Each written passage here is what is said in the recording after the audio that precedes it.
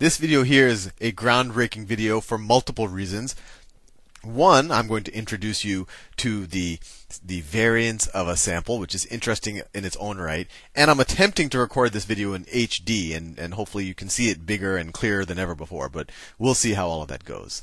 So, this is a bit of an experiment, so bear with me.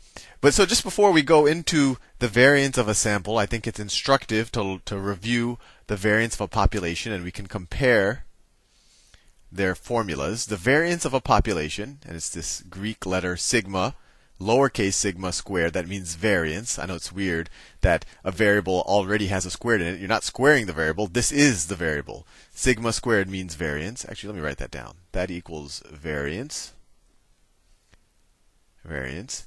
And that is equal to, you take each data point, and we'll call them x sub i, you take each data point, find out how far it is from the mean of the population, the mean of the population, you square it, and then you take the average of all of those.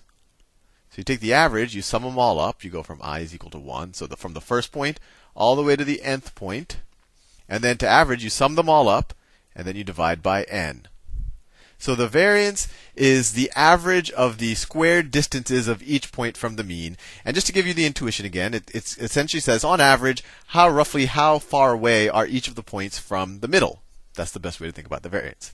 Now, what if we're dealing, you know, this was for a population, right? And we said if we wanted to figure out, you know, the variance of men's heights in the country, it'd be very hard to figure out the variance for the population. You would have to go and uh, essentially measure everyone's height, 250 million people. Or what if it's for um, some population where it's just completely impossible to have the data, or some random variable, and we'll go more into that later. So a lot of times you actually want to estimate this variance by taking the variance of a sample. Same way that you can never get the mean of a population, but maybe you want to estimate it by getting the mean of a sample. And we learned that in that first video. So, you know, if this is if that's the whole population, that's, you know, millions of data points or even data points in the future that you'll never be able to get because it's a random variable. So this is the population, population. You might just want to estimate things by looking at a sample. And this is actually what most of inferential statistics is all about figuring out descriptive statistics about the sample and make inferences about the population. Let me try this drug on 100 people, and if it seems to have statistically significant results, this drug will probably work on the population as a whole. So that's what it's all about. So it's really important to understand this notion of a, of a sample versus a population and being able to find statistics on a sample that for the most part, can describe the population or help us estimate. Uh, they call it parameters for the population. So what's the what's the mean of a? Let me rewrite these definitions. What's the mean of a population? I'll do it in that purple. Purple for population. The mean of a population. You just take each of the data points. So you take each of the data points in the population, xi. You sum them up. You start with the first data point and you go all the way to the nth data point, and you divide by n. You sum them all up and divide by. That's the mean. So and then you plug it into this formula, and you can see how far each point is from that central point, from that mean, and you get the variance. Now, what happens if we do it for a sample? Well, if we want to estimate the mean of a population by somehow calculating a mean for a sample, the the best thing I can think of, and really these are kind of engineered formulas. These are human beings saying, well, what is the best way to sample it? Well, all we can do is really take an average of our sample. And that's the sample mean. And we learned in the first video that that notation, the formula is almost identical to this. It's just the notation is different. Instead of writing mu, you write x with a line over it. Sample mean is equal to, once again, you take each of the data points now in the sample, not in the whole population. You sum them up from the first one, and then to the nth one, right? They're saying that there are n data points in this sample, and then you divide it by the number of data points you have. Fair enough. It's really the same formula. The way I took the mean of a population, I say, well, if I just have a sample, let me just take the mean the same way, and it might, it's probably a good estimate of the mean of the population. Now, it gets interesting when we talk about variance. So your natural reaction is, okay, I have this sample. If I want to estimate the, the variance of the population, why don't I just apply the same formula essentially to the sample? So I could say, and this is actually a sample variance. They use it. They use the formula S, S squared. So sigma is kind of the Greek letter equivalent of S. So now when we're doing with the sample, we just write the S there. So this is sample variance. Let me write that down. Sample variance. Sample variance. This is so we might just say, well, maybe a good a good way to, you know, take the sample variance is do it the same way. Let's take the distance of each points in the each of the points in the sample. Find out how far it is from our sample mean, right? Here we used the population mean, but now we just use the sample mean because that's all we can have. We don't know what the population mean is without looking at the whole population. Take the square of that, that makes it positive and has other properties which we'll go over later. And then take the average of all of these squared distances. So you take it from, you sum them all up, and there's n of them to sum up, right? Lowercase n. And you divide by lowercase n. You say, well, you know, this is a good estimate. Well, whatever this variance is, that might be a good estimate for the population whole. And actually, this is a this is what some people often refer to when they talk about sample variance, and sometimes it'll actually be referred to as this. They'll put a little lowercase n there. And the reason why I do that is because we divided by n. So you say, Sal, what, what's the problem here? And then the problem, and I'll give you the intuition because this is actually something that used to boggle my mind, and I'm I'm still, frankly, struggling with the intuition behind it.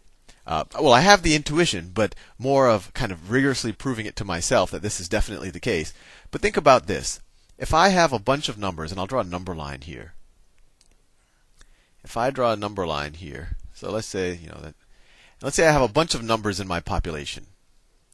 So let's say I'm just going to randomly put a bunch of numbers in my population. Know, these the ones to the right are bigger than the ones to the left. And if I were to take a sample of them, right? Maybe I take, and you know, the sample it's random. You're you you actually you want to take a random sample. You don't want to be skewed in any way. So, you know, maybe I take this one, this one, this one, and that one, right?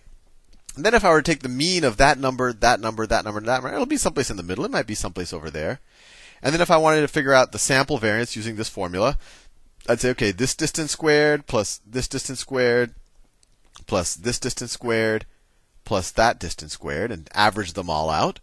And then I would get this number. And that, that probably would be a pretty good approximate, uh, approximation for the variance of this entire population. The, the population of the mean is probably going to be, I don't know, it might be pretty close to this. If we actually took all of the data points and averaged them, maybe they're like here someplace. And then if you figure out the variance, it probably would be pretty close to the average of all of these lines, right? All of the sample variance distances, right? Fair enough. So you say, hey, Sal, this looks pretty good now. But there's one little catch. What if, I mean, there's always a probability that in, instead of picking these kind of fairly well distributed numbers in my sample, what if I happen to pick this number, this number, and that number as my, and, and let's say that number as my sample? Well, when it, whatever your sample is, your sample mean's always going to be in the middle of it, right? So in this case, your sample mean might be right here. So all of these numbers, you might say, okay, this number is not too far from that number, that number is not too far, and then that number is not too far. So your sample variance, when you do it this way, it might turn out a little bit low, right? Because all of these numbers, they're pretty, you know, they're, they're almost by definition going to be pretty close to the mean of each other. But in this case, your sample, your sample is kind of skewed and the actual mean of the population is out here someplace. So the actual variance of this sample, if you had actually known the mean, I know this is all a little confusing. If you had actually known the mean, you would have said, oh wow, you would have found these distances, which would have been a lot more. Right? The whole point of what I'm saying is when you take a sample, there's some chance that your sample mean is pretty close to the population mean. Right? Maybe your sample mean is here and your population mean is here, and then this formula will probably work out pretty well, at least given your sample data points of figuring out what the variance is. But there's a there's a there's, there's a reasonable chance that your sample mean your sample mean is always going to be within your data sample, right? It's always going to be the center of your data sample. But it's completely possible that the population mean is outside of your data sample. It might have just been, you know, you just happen to pick ones that that don't contain the actual population mean. And then this sample variance calculated this way will actually underestimate the actual population variance, right? Because they're always going to be closer to their own mean than they are to the population mean. And if you're understanding, frankly, even like 10% of this, you are a very advanced statistics student. But I'm I'm saying all of this to just give you hopefully some intuition to realize that this will often underestimate this formula will often underestimate the actual population variance.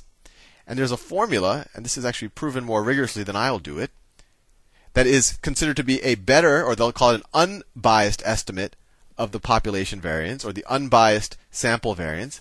And sometimes it's just denoted by the s squared again. Sometimes it's denoted by this Sn minus 1 squared, and I'll show you why. It's almost the same thing. You take each of the data points, figure out how far they are from the sample mean, from the sample mean, you square them, and then you take the average of those squared, except for one slight difference. i equals 1 to i equals n. Instead of dividing by n, you divide by a slightly smaller number. You divide by n minus 1. So when you divide by n minus 1 instead of dividing by n, you're going to get a slightly larger number here. And it turns out that this is actually a much better estimate. And one day I'm going to write a computer program to, to at least prove it to, my, to myself experimentally that this is a better estimate of the population variance. And you know, you would calculate it the same way. You just divide by n minus 1. The other way to think about it, and actually, no, no, I'm all out of time. I'll leave you there now, and in the next video, we'll do a couple of calculations just so you don't get too overwhelmed with these ideas because we're getting a little bit abstract. See you in the next